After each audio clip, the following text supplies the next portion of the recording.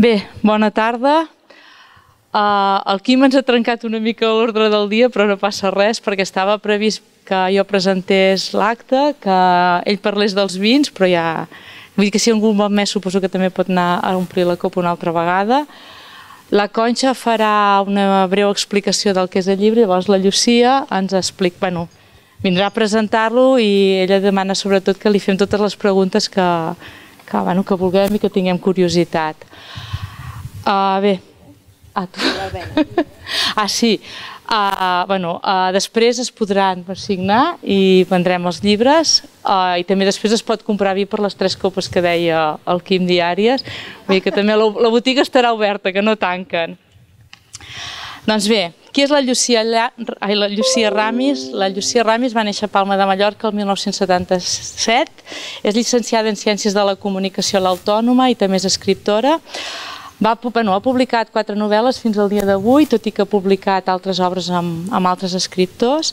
D'aquestes quatre novel·les, dues tenen premis, eh, per tant un 50% de la seva obra està premiada, si ho mirem així. Uh, la primera novel·la és del 2008, Coses que et passen a Barcelona quan, quan tens 30 anys, que va rebre el Premi Josep Pla. El dos... A l'ego surfing, doncs mira, està malament, veus? Ho hem trobat malament. Culpables, eh? Jo de la que havia sentit a parlar més era d'ego surfing, que suposo sí, que era per, per això. això. Per això. Suposo que era per això. El 2013 també va escriure tot allò que una tarda morir amb les bicicletes i avui estem per presentar el seu llibre Les possessions, que té el Premi Anagrama de novel·la en català. Bueno, jo bàsicament estic molt contenta que hagi vingut ella perquè la conec pels mitjans de comunicació. Sé que ha participat en el Diari de Mallorca, en El Mundo, a la RAC1, com ràdio, que va ser la directora i presentadora d'un programa Això no és Islàndia d'Eivissa 3 i IB3, sí, Balears 3, uh, eh, i actualment doncs, bueno, jo l'escolto, bueno, els escolto a tots en el programa del suplement de Catalunya Ràdio dels caps de setmana, que participa en dues seccions. Una que és la que sento jo perquè no sóc gaire matinera, que és la de Folicanya, que sempre treu, són tres, la Carme Lloberes, ella i el Roger Mayol, que cadascun dels tres proposa un tema i diuen el per què, doncs posen, bueno, li foten canya amb aquest tema, no? el per què l'han escollit i, per què el, i què hi tenen a dir. Uh, llavors també falta, bueno, fa un altre, un altre apartat, un altre secció, sí, que és la de, que parlen, bueno, ara suposo que amb l'Anna Guitarno, no? perquè deu ara estar... Ah, sí, que parlen de les novetats literàries cada setmana, també. No?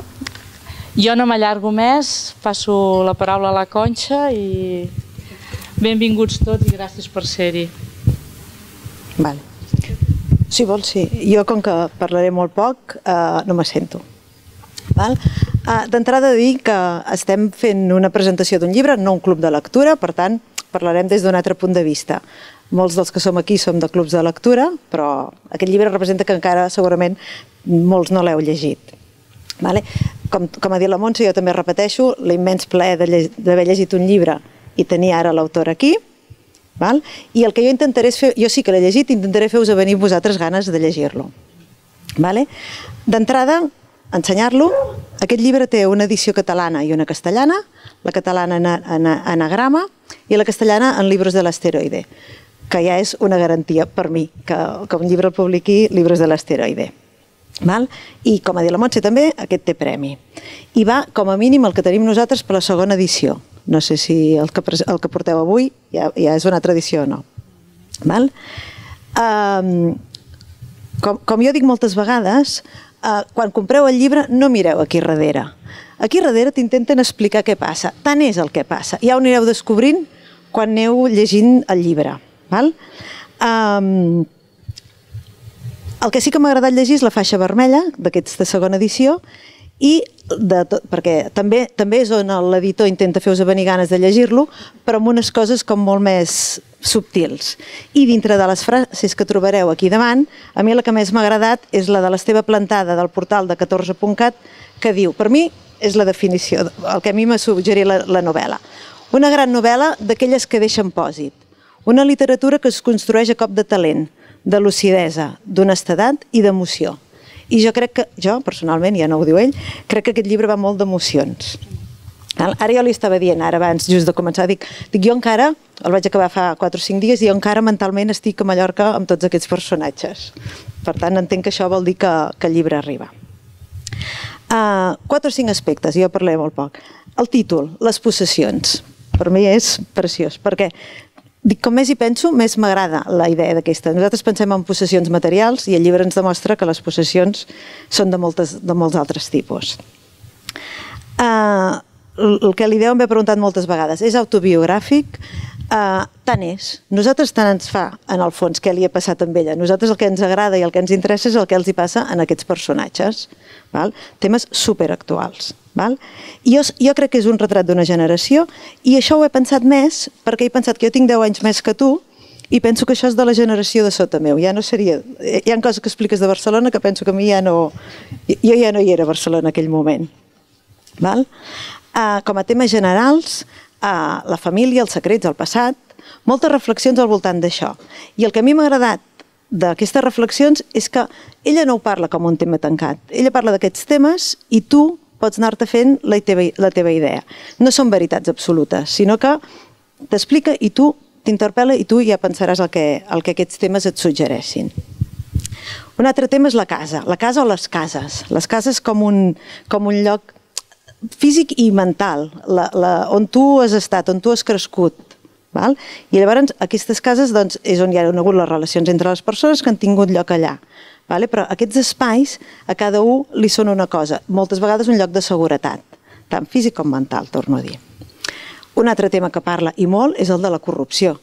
I, a més a més, parla de partits polítics amb noms, allò que això també et sorprèn, perquè dius, mm, sí, sí, no, no té pèls a la llengua. Però aquest partit polític que ha passat? Sí, sí, sí, sí. sí.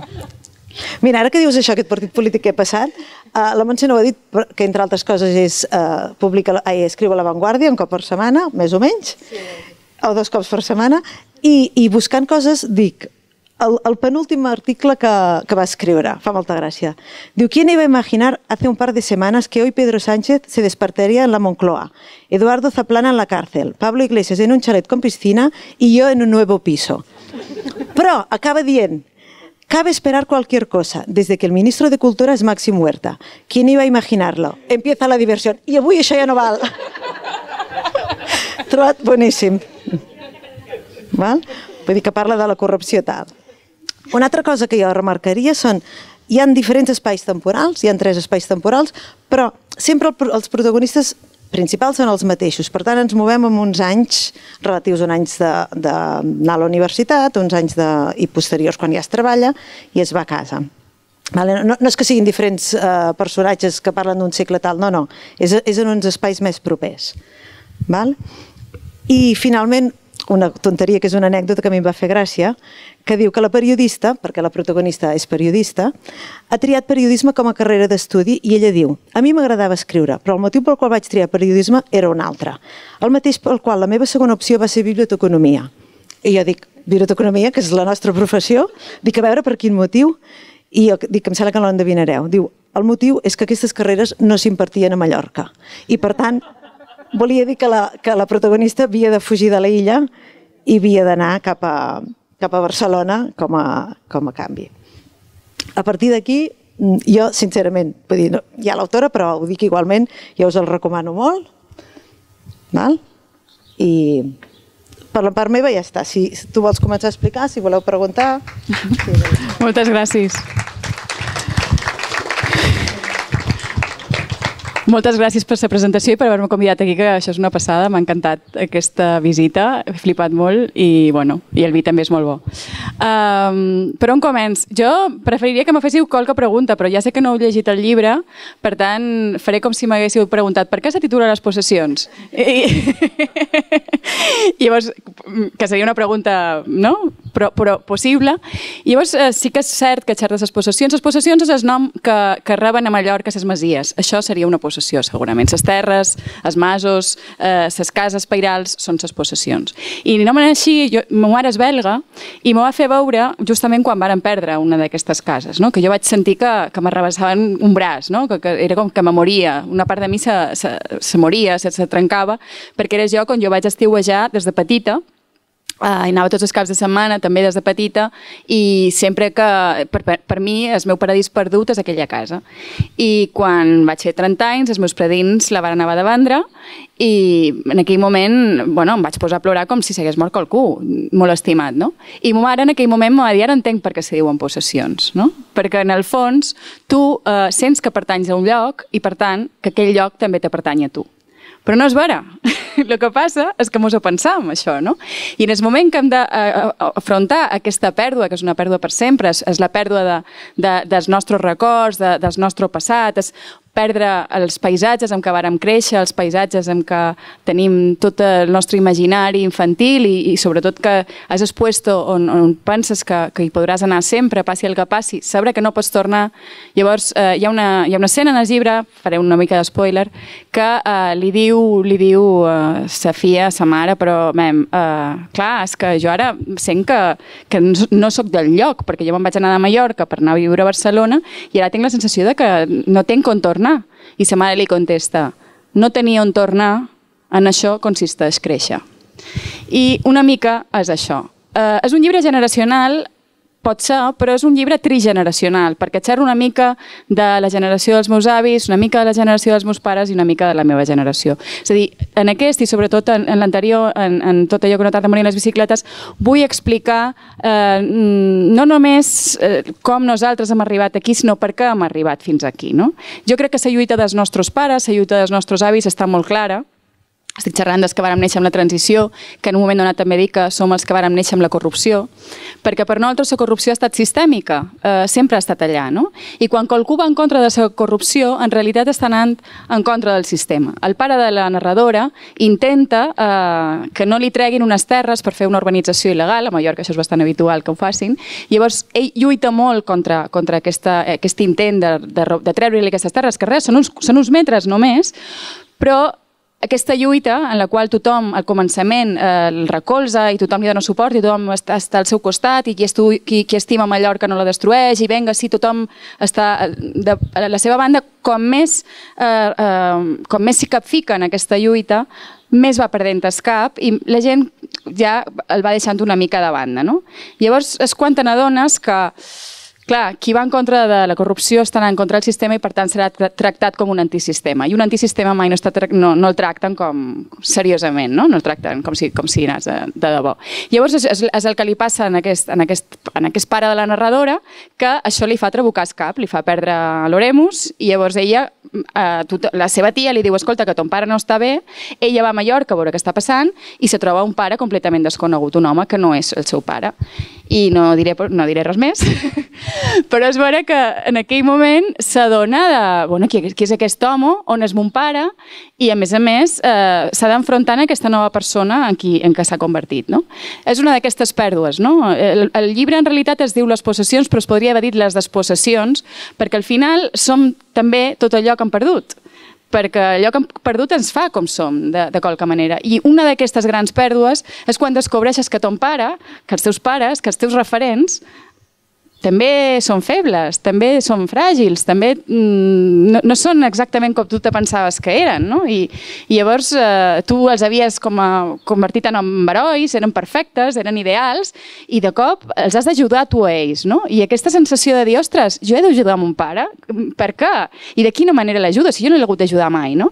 I aquesta contradicció de dir, ostres, eh, jo sóc molt jove per, per, per, per ficar-me amb això. També som una generació, la meva, que així com la dels nostres pares i dels nostres avis eren lluites, com deia abans, que són molt clares, la nostra... Eh, què hem fet?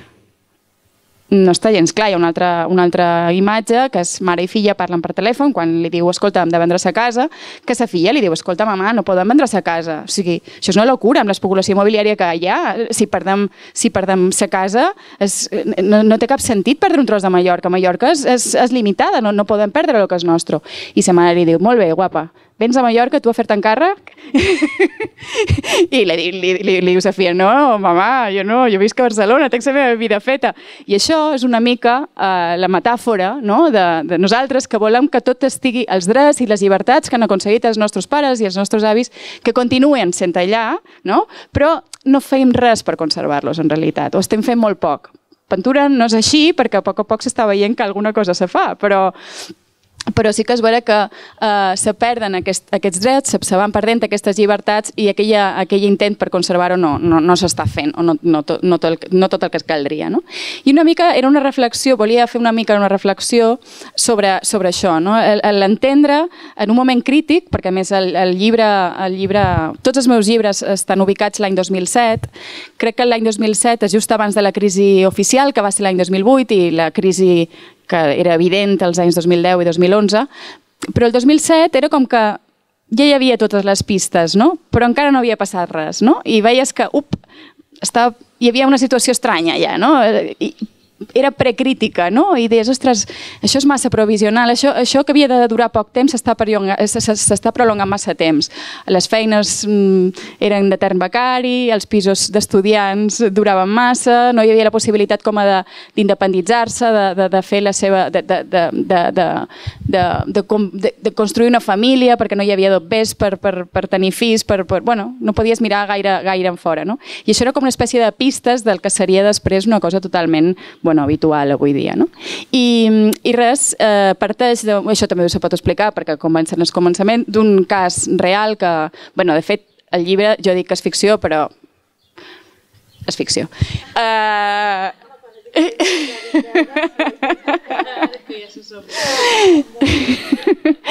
Parteix el llibre d'una situació que, que, que jo vaig viure quan tenia 16 anys.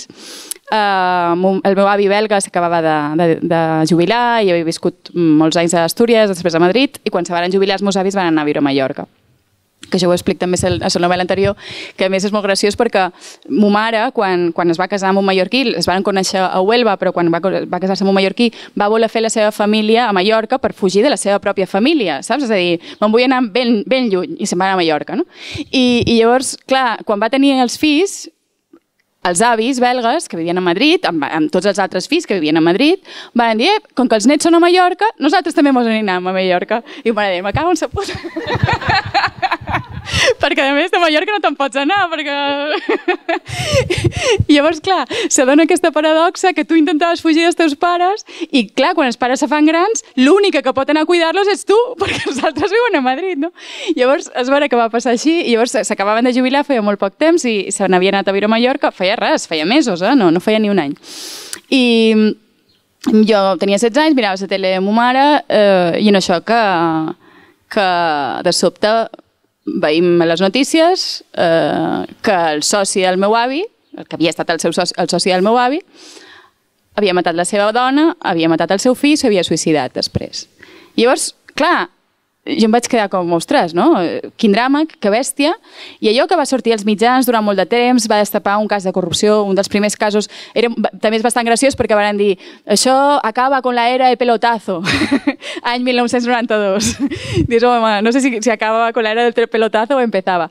Però aquella escena que va ser tan bèstia, que va, se'n va parlar molt, va, parlar, va sortir a tots els mitjans, va sortir als diaris, va sortir a les ràdios, a la televisió sense parar, i en el programa aquell del Pelica, no... o sigui, sortia tot arreu. En canvi, a casa nostra no se'n va parlar mai. I llavors, això te fa pensar moltes coses, perquè és vera que a les famílies, per, per protegir-se, eh, se guarden els silencis, no s'expliquen les coses. Hi ha temes que és millor no tocar, no? Però si no toques aquests temes, moltes vegades semblen molt més grossos del que són en realitat, o fa molta més por del que en realitat han estat. No? Encara que són temes molt grossos, no saps mai fins a quin punt no t'estàs imaginant el que va passar en realitat o fins a quin punt allò va passar de debò.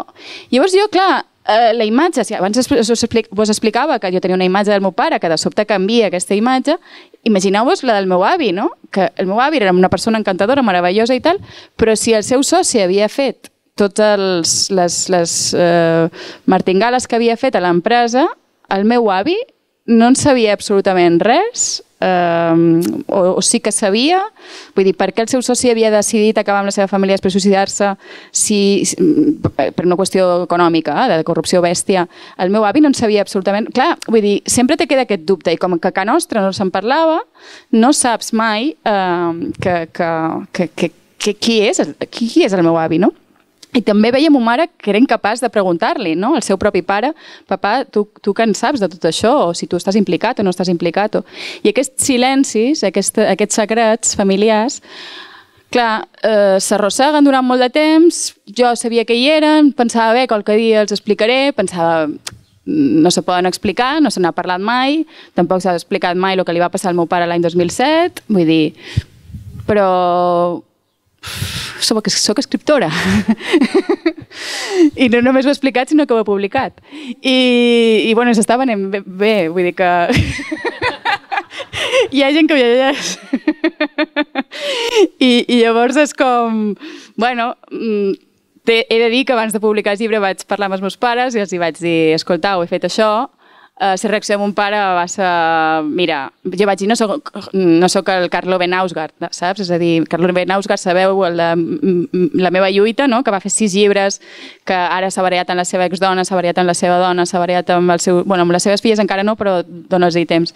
Uh, vull dir, s'ha variat amb tot Déu, amb els seus, menys amb la seva mare, em sembla que s'ha variat amb, amb, amb, amb, tot, amb, tot, amb tothom. Jo vaig dir, bé, jo no som Nausgard, per mi és molt més important la família que, que, que la literatura, si no descriu d'escriure aquest llibre, n'escriure un altre, i quan el vaig tenir acabat, um, clar, volia presentar el premi Anagrama i um, se m'acabava com el termini, no? però jo sabia que volia parlar amb els meus pares cara a cara.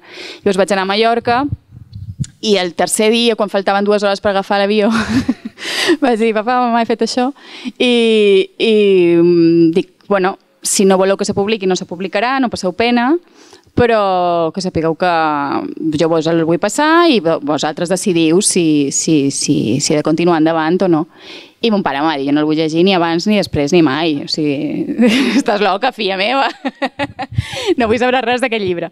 I llavors li vaig explicar com ho havia explicat, com ho havia, com ho havia enfocat, etc. I em va dir, bueno, bueno, passa-me'l, a veure que... Se'l va llegir en un dia, eh, bueno, en una hora baixa, i ara és el meu fan número 1, no?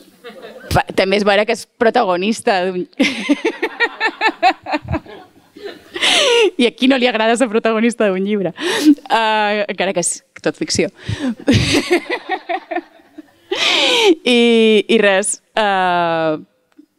Sense fer spoiler, pots explicar la imatge de quan ella arriba a, a Palma. Com troba el seu pare? Sí. Aquell tros és és que això va passar realment, va ser així. Eh? Mm, la, la narradora, la narradora, bueno, això la seva tia li ha dit moltes vegades que, que el seu pare està molt malament, que si no fa mal, o sigui, si no fa mal a algú, se farà mal a si mateix. Clar, el llibre també parla de, dels trastorns mentals, de les malalties mentals, que clar, com que és el gran tabú dels nostres temps, juntament amb la corrupció, eh, no se tracta i no se tracta bé mai, no? I llavors eh, un no sap com ha de reaccionar. I en aquell moment, eh, bueno, a la narradora li estan dient molt el teu pare està molt estrany, està fent coses molt estranyes, està gastant molts adobers, molts diners, eh, està, fent, està actuant d'una manera molt rara i la narradora deia, bueno, si tan malament estigués, la, la meva mare ho sabria, no? Vull dir, m'hauria avisat i tal, però diu, bueno, de tota manera vaig a fer un cop d'ull i a veure què passa, no? Llavors se'n va cap a Mallorca i quan aterra a l'aeroport eh, es troba son pare, tot descamisat, fins al llombrígol, tot despentinat, eh, Llavors, quan ell la veu, no? Li hola, Llucia, què tal? Bueno, no, no, perquè la narradora no té nom. Bé, és igual. Uh, li diu, hola, què tal? I, i llavors, uh, en aquell moment, dos negres senegalesos, un noi i una noia, van corrents cap a ella i li comencen a fer una entrevista, una amb una càmera i una altra amb una gravadora. I, i llavors uh, ella diu, però qui és aquesta gent? Però què passa? I la comencen a entrevistar, ella acaba de publicar la seva primera novel·la i li comencen a fer una entrevista com si estigués a la televisió, etc. No? I després uh, ell s'ha comprat un cotxarro, s'ha comprat un, un descapotable de color daurat i va tota pastilla per la, per l'autopista amb els dos negres senegalesos que l'acompanyen allà on vagi, que ho graven absolutament tot, una amb una gravadora i una altra amb una, amb una càmera. No? Uh, això va passar realment, menys lo d'escotxo. I a més no eren senegalesos, eren nigerians. Uh, però, però sí que és veritat que en aquell moment jo vaig pensar, hòstia, què, què, què, què està passant aquí? No? I, i tant, tant així que tot aquell any eh, mon pare anava sempre amb una gravadora penjada al coll perquè tenia molta por i llavors estava... i es pensava que bueno, necessitava proves. I de, de, proves de què? I me deia, però proves de tot. I llavors ho tenia tot gravat, no? Anava tot gra gravant tot i estava com molt paranoic. I, i va ser molt dur, per, per nosaltres va ser un, un cop molt fort i, i, i molt bèstia. No explicaré com acaba la història, en tot cas es resol, no diré si o malament, però es resol. Si no s'hagués resolt, jo crec que no hauria estat capaç d'explicar-ho. Jo crec que les coses s'expliquen quan s'han resolt, per bé o per mal. i també hi ha dues històries d'amor, dues ruptures, no?, amb la narradora, que també se resolen. No direm també, tampoc si són bé o per mal, però se resolen. Jo crec que les històries les explicàvem, les anècdotes, quan arribàvem a casa nostra i explicàvem alguna cosa, és perquè ja s'ha acabat, no? No dèiem, anava pel carrer? No, anava pel carrer i m'ha passat això. Per tant, ha passat. I va passar això. I, i res, l'altre dia mon pare m'havia promès que havia esborrat tot el que havia gravat d'aquells anys, però l'altre dia ens va mostrar un d'aquells vídeos de que com que ho anava gravant tot i és molt, és molt heavy perquè fe, ens fem una foto de família i ell gravava o sigui, com va a la càmera de fotos mira que, que estiguem tots enquadrats amb, amb la càmera de, de vídeo, grava com, com enfoca la càmera de fotos, tal, va corrent, s'escapa la foto familiar, se posa, tot això està gravat, de la, de, saps? O sigui, que és com, hòstia, I, i jo, jo pensava que ho havies borrat tot això, i no, no, encara conserva vídeos d'aquests que dius, realment no, no estaves bé, papaito. Però, però clar, fa riure perquè ja ha passat, però quan, quan ho vius realment és molt dolorós. És, és un llibre que si hagués escrit l'any 2007 eh, sempre posa aquesta metàfora perquè crec que és la més encertada, estava massa a prop del monstre. I el monstre te pot menjar. I en canvi, com que la vaig escriure el 2017, eh, els, monstres s'han convertit en fantasmes. I els fantasmes reapareixen, fan por, eh, espanten, perquè no? te recorden situacions, te recorden on pots tornar a caure, però no te pot fer mal. I llavors, en aquest sentit, eh, jo crec que la distància és molt important sempre per escriure qualsevol tipus de distància, perquè si estàs massa a prop del dolor, és probable que no te surti literàriament allò que vol, voldries que, que sortís. Per tant, és un llibre que parla d'aquestes coses, que ara sembla que sigui un totxo filosòfic super bèstia, però no. intent, que, intent que hi hagi humor, intent riure una mica de tot allò, perquè me queda prou lluny com per poder-ne fer una mica de broma i tot això. I no sé, si voleu fer qualque pregunta.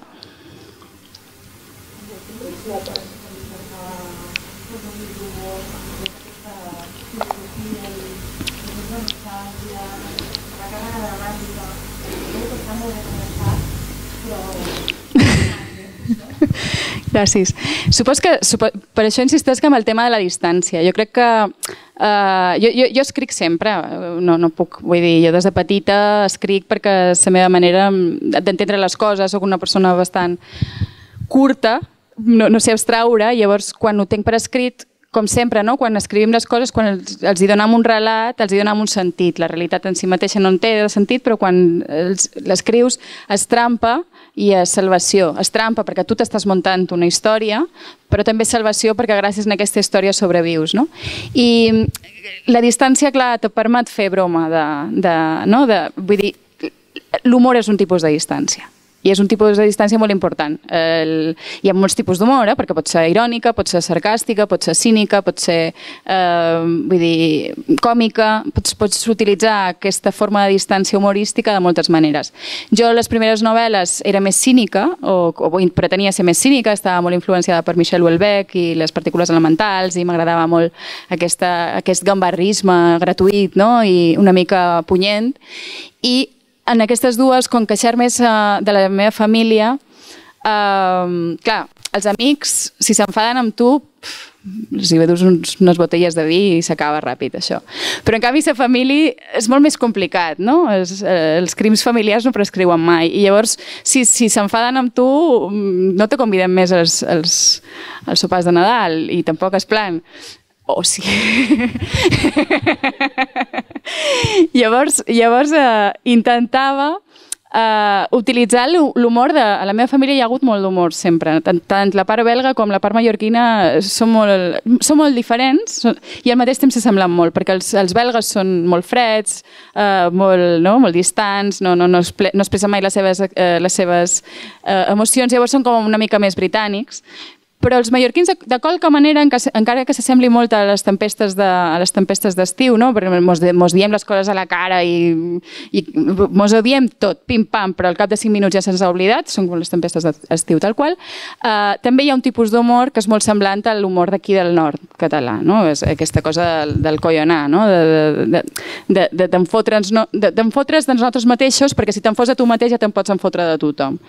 I llavors, eh, aquest, aquests dos tipus d'humor, el belga també se'n fot de si mateix, perquè clar, pobre, saps? Vull dir, són els leperos d'Europa. Si, si no accepten això, vull dir, també ho tenen fotut. Llavors, clar, és com, bueno, va, ja, ja me'n foto jo, ja podeu fer el que vulgueu, no? I els mallorquins una mica el mateix, no? Llavors, és com aquesta manera de, de, de bueno, relativitzar una mica, no? I al final de la mort no ens escaparàvem, però com a mínim ens en podem fotre d'ella, no? Ens en podem enriure una estona.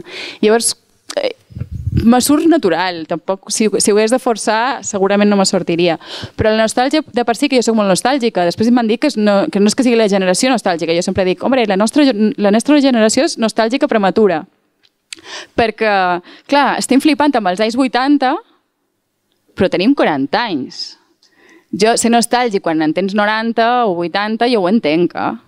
Però ser nostàlgic quan és quarantí, no sé, saps? O sigui, flipar per les coses que feies fa 20 anys és una mica cutre. I me diuen que no, és, que no és així tothom. I dic, home, no sé, l'última pel·lícula de l'Spielberg. Tots anàvem com a locos a veure l'última pel·lícula de l'Spielberg. Estem allà flipant amb els Goonies encara, no? L'altre dia no sé qui parlava del Blandy Bloop i era, hola, sí, el Blandy Bloop. Perdona, però, saps? Era una cosa fastigosa, punto. Tampoc no li hem de donar més voltes. Llavors, eh, jo crec que som, que som nostàlgics perquè, perquè clar, vàrem, vàrem viure el canvi, de, el canvi real. De... Nosaltres serem la primera generació que comença a perdre respecte de la, no respecte de l'anterior, però sí respecte del que s'esperava de nosaltres. O sigui, nosaltres guanyarem menys diners del que havíem aspirat a guanyar, tindrem menys sol, menys, menys, menys espai respecte del que se suposava que havien de tenir. Eh, és a dir, que hi havia com una espècie d'evolució i en un moment donat, l'any 2010 posa, eh, comença aquesta petita involució, no? I, i petita no gran, però vull dir que se nota també serem l'última generació que, que fa les coses perdurables. Els millennials, el més perdurable que fa són tatuatges. Eh, tota la resta s'esborra, no? L'Snapchat, el, el Signal, tot això, eh, pim-pam, ja no hi és, no? És, és com tot molt efímer. I som molt conscients d'aquesta...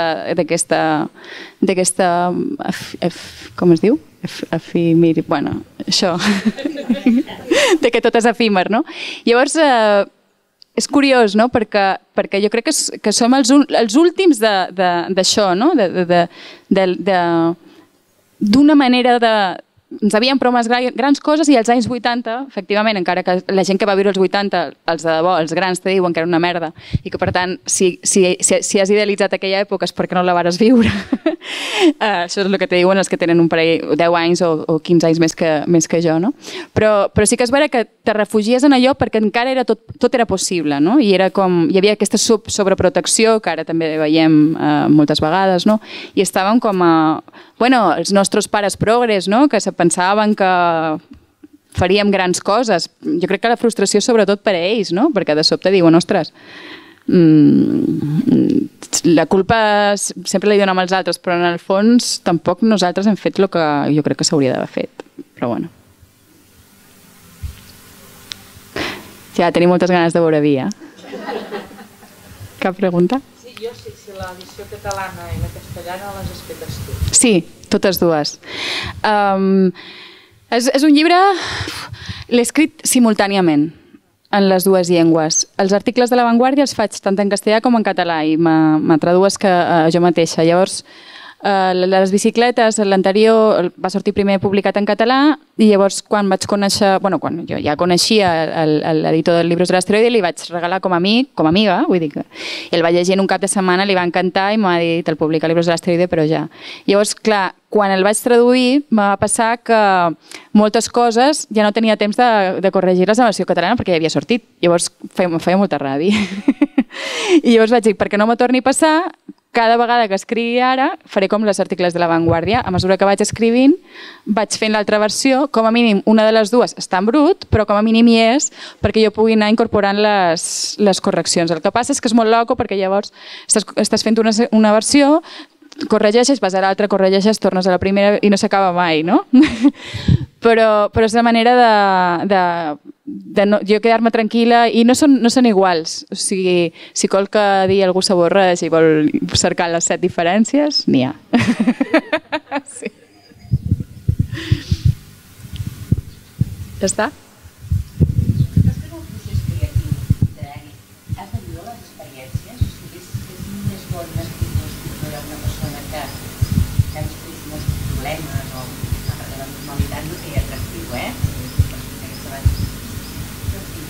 No, jo crec que primer l'escriptor sempre ha d'haver llegit molt, perquè és la manera d'entendre el sentiment de l'altre i l'exposició del sentiment també, no? Si tu llegeixes molt, saps com, saps com es tracten les emocions d'una manera eh, des del relat, no? I llavors això t'ajuda a observar d'una altra manera, és a dir, a ser conscient de les coses que passen d'una altra manera. I llavors, eh, a mi no, la meva vida no és més interessant que la vida de cap persona del món, però jo, com que li dono, com que li dono no? Tot, tota aquesta fabulació, tota, tota, tota aquesta història, llavors és aquí quan comença el procés creatiu, no? Quan, ostres, no? jo sempre estic pensant, què passaria si, no? És, és, és bàsic això. Jo, jo tenc, ara mateix, mentre estic xerrant, estic veient set possibilitats distintes, no? I en una de les set sempre hi ha la mort. Això sempre ho poso a dir, no diré d'aquí. I... no, però què passaria si, què passaria si, què passaria si, què passaria si? Llavors és com, i, i vas al mateix temps, eh? I, i llavors sempre vius com en aquell món que no saps exactament quin d'ells és, és el real, perquè al final, jo com a periodista que sóc, sí que li dec una fidelitat als fets quan faig de periodista però com a, com a escriptora, com a narradora, fins i tot com a columnista, encara que en el cas del columnisme sí que he de ser fidel al, a les dades, als fets no sóc tan fidel. Intent ser honesta. Què vol dir ser honest? Intentar acostar-s'hi lo màxim, perdó, intentar acostar-se lo màxim a lo que, a lo que jo sent, però no des del moment en què ho sents. És a dir, en el cas del, de les possessions, la narradora eh, es troba l'any 2007, però l'autora que sóc jo es troba l'any 2017. Per tant, jo m'he de posar en la pell d'una narradora que està allà, que ho està vivint en aquell moment, però jo, no, però jo ja sé el que passa després. Per tant, jo estic molt més tranquil·la que, que, que la narradora. És a dir, l'autora està molt més calmada, es, ho mira tot més amb, amb més perspectiva. En canvi, la narradora, jo he de fer que la narradora ho estigui visquent i ho estigui patint en aquell moment. No? Llavors, aquest joc a mi és el que més me fascina, no? poder jugar a veure com, eh, com expliques les coses, fins on ets capaç d'arribar. No fer catarsi, perquè la catarsi la fas a casa teva amb els dietaris, si vols, o, o el que vulguis, no? Però a mi el que m'agrada és construir eh, de quina manera explic un sentiment que sense que sigui una descripció, el que deies abans, no? sense que jo te descrigui el sentiment, tu puguis entendre quin és aquell sentiment, no? perquè jo te, jo, te, jo te vull portar per uns canals que tu diguis, ostres, pues sí, no? Sent, sento això sense que jo t'ho hagi hagut de dir. No? I, I en aquest sentit, és igual el que hagis viscut i de fet és igual el que estiguis explicant.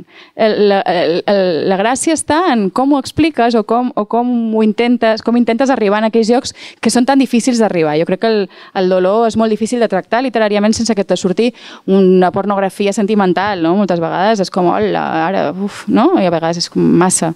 Llavors, o massa sentimentalisme. Jo tot això no m'interessa gens. A mi el que m'agrada és jugar. Per exemple, en el, en el llibre anterior jo el vaig escriure com, com qui comença a detallar un detall, o sigui, comença a, a, a relatar un detall, un petit detall, com qui fa un quadre, no?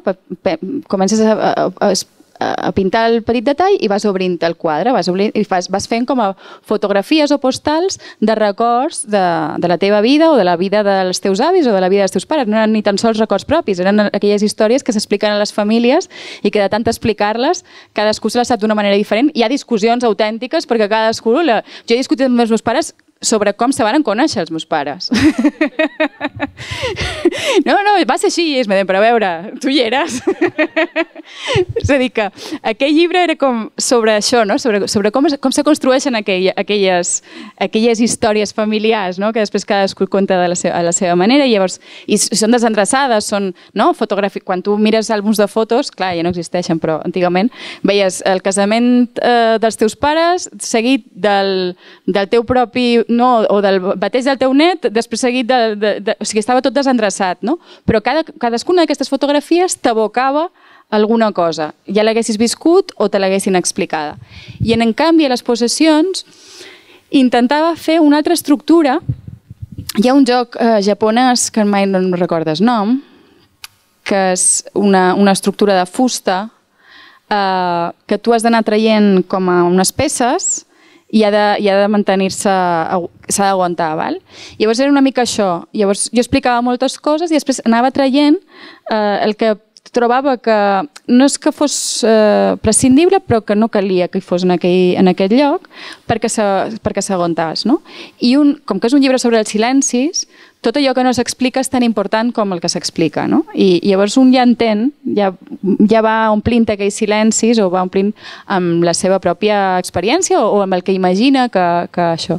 Jo crec que això és fascinant, és el més divertit, és aquest joc, aquesta comunicació amb, amb el lector que tu no coneixes, no? I que dius, ostres, vaig a veure si sóc capaç de, no sé, de, de fer això i mola. Bé. Ja està? Sí? Sí. Uf, sí. Si no, no, si no, no arribaria. A La Vanguardia faig una crònica dels actes culturals, eh, bueno, de les presentacions literàries i altres actes culturals, però quasi sempre són presentacions literàries. Ara, per exemple, estaria aquí agafant notes, me n'aniria abans que acabàs perquè pensaves... I després me'n fotria bastant de, de mi, o sigui, de, de la persona que està aquí, no? Abans, abans ho feia més, quan, quan ho feia el Mundo ja feia, ja feia aquestes cròniques perquè no me coneixia ningú i llavors eh, com no me posava encara, jo escrivia, publicava i després deien qui és aquesta, no? I m'han arribat a, a passar situacions bastant divertides.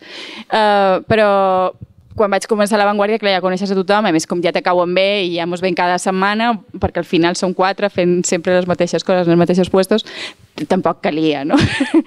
I llavors vaig a tres actes d'aquests per setmana, que se diu ràpid, però vol dir que cada tarda, a les 7 de la tarda, estic escoltant rotllos de llibres. no, que estan molt bé, són molt interessants. Um... No, no, no, no, els escull jo.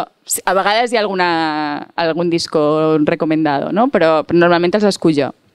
Intent variar editorials, autors, llocs... O sigui, intentes que, intentes que hi hagi dones, perquè moltes vegades mmm, vas i fas la foto i tots són tios i dius, home, no, jo no, no, puc, no puc permetre... Després això surt a una mateixa pàgina els dissabtes i, per tant, hi ha tres fotos i, clar, no pot ser que, que només surtin homes, no? I això a vegades, a vegades ha passat, ara cada vegada menys, però a vegades no se n'adonen moltes vegades de que la presentació... És curiós, eh? Quan, quan la presentació la fa una dona, moltes vegades hi ha homes, però quan la presentació la fa un home, costa més que hi hagi alguna dona, que solen, solen ser tres sempre, no? No sé. Bé, eh, la qüestió és que faig això i després la columna, la columna, una columna d'opinions que surt els diumenges. Aquesta crònica surt els dissabtes i la columna surt els diumenges. La columna l'escric el dijous, per tant, avui l'entregada, l'he lliurada avui, clar, sempre em fa una mica de por perquè faig aquestes frases que després dic Zaplana justament el dijous va a dormir a l'hospital i deia, conyo... I així vaig dir, bueno, escoltau, si després no torna a la presó hem de canviar la primera frase. Llavors has, has d'intentar ser prou poc actual com perquè aguanti fins, Sí, i després el, el, la, la, la crònica dels actes l'escriuré demà i l'he de lliurar abans de la una i mitja, abans de la una, perquè a la una i mitja gravam la secció Catalunya Ràdio que surt els dissabtes a les, a les set i mitja. Llavors, a part, faig, faig rac o sigui, faig, faig els guions d'altres seccions. Per tant, jo escric eh, setmanalment mínim mínim dos articles i la crònica són, és molt llarga. Llavors, mínim. Per tant, has de pensar de què parlaràs, com ho parlaràs, has d'informar-te tot això, vull dir que mínim que vol dir que normalment acabes entre, entre unes coses i unes altres escrius una, uns quatre articles per setmana. Per tant, jo escric d'una manera... Més els guions, eh?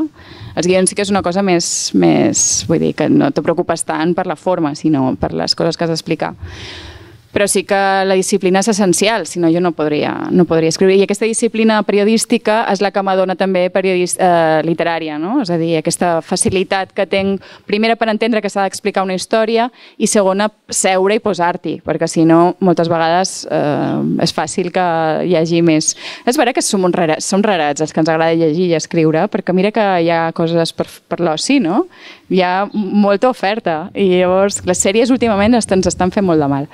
I llavors es veurà que, però sense aquesta disciplina no se podria fer. I d'altra banda també me fa tan feliç escriure que no, i no sabria fer una altra cosa que, que és guai. No, les dues coses.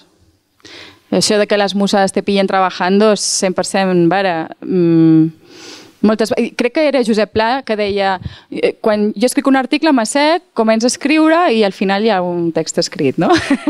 és així, és, és així. Moltes vegades jo, jo crec que escriure és descobrir coses que no sabies que sabies. I a mesura que vas escrivint dius, ostres, va sortint, va sortint, va sortint. Per, per mi és molt més important per mi és, la, escriure és la part fàcil, per mi és més important la, la, la segona part que és la de, la de podar, no? la d'anar llevant coses i la de reescriure. Aquest, és, és molt més divertida també, perquè al final escriure um, està molt bé, m'agrada molt, però després has de treballar. M'agrada molt repassar, rellegir, mm, no? aquesta cosa de, bueno, fem-ho fem bé, no? fem-ho tal, no sé, i, i vas rellegint i encara te trobes... I és, en el meu cas és molt obsessiu, Um, jo soc bastant l'ansietat, per tant, no, no, no, quan, quan, quan estic a punt d'acabar una novel·la no puc dormir, només estic pensant en la novel·la, no puc veure la gent perquè només estic pensant en la novel·la. Llavors, com que he de continuar fent vida social per les cròniques de l'avantguàrdia, és com, ostres, ostres, no? I és com aquesta... Però bueno, cada vegada vas com intentant combinar les dues coses i... Però bueno, m'encanta, m'ho pas molt bé, la veritat.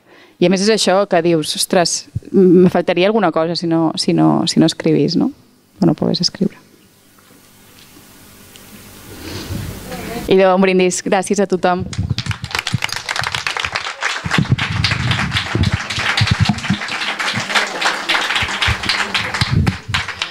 Bé, doncs gràcies a tots. Bueno, a la Llucia per haver vingut tan, bueno, tan, tan ràpid que va contestar que s'hi va apuntar a la, a la primera. Bueno, el Toni no hi és, però de la llibreria per Cir, que també ens ajuda cada any amb aquest acte, a la gent de l'escola, a la gent de la biblioteca, que també ens ajuden amb l'organització i a tots vosaltres per Cir i també a la gent de les biblioteques. La Roser m'està ensenyant el llibre per si algú el vol comprar. Jo he de confessar que el dia que el vaig anar a buscar, mentre pujava pel carrer, perquè el vaig anar a buscar per, que o ella i jo el poguéssim llegir, anava amb la faixa i pensava, quan arribi a casa el començo, quan arribi a casa el començo, només amb el que deia la faixa, perquè anaves pel carrer llegint-lo. Doncs us convido també a que el llegiu, perquè bueno, jo porto poquetes pàgines, però sí que també m'han atrapat i he notat el sentit de l'humor, es fa molt fàcil, i la botigueta amb el Quim també perquè compreu els seus vins que són molt bons. I gràcies sobretot al Quim i a la Rosa per oferir la seva casa i la seva, els seus coneixements.